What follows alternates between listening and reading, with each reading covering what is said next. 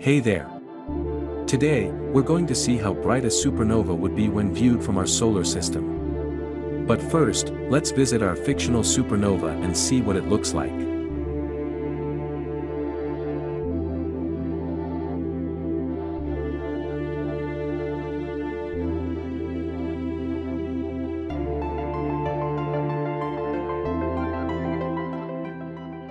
As you can see, the supernova remnant's diameter is about 9.78 light-years. Let's zoom in further to see the monster at the center. There's the monster.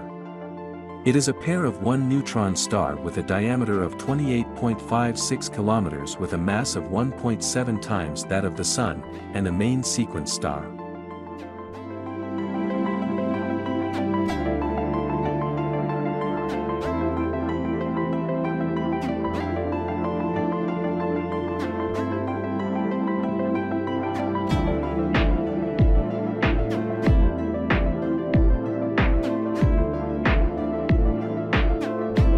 Now, let's go back to Earth shall we?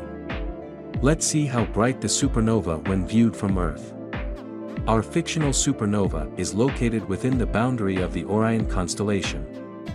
Now, imagine that is Betelgeuse and it would probably be as bright like our fictional supernova.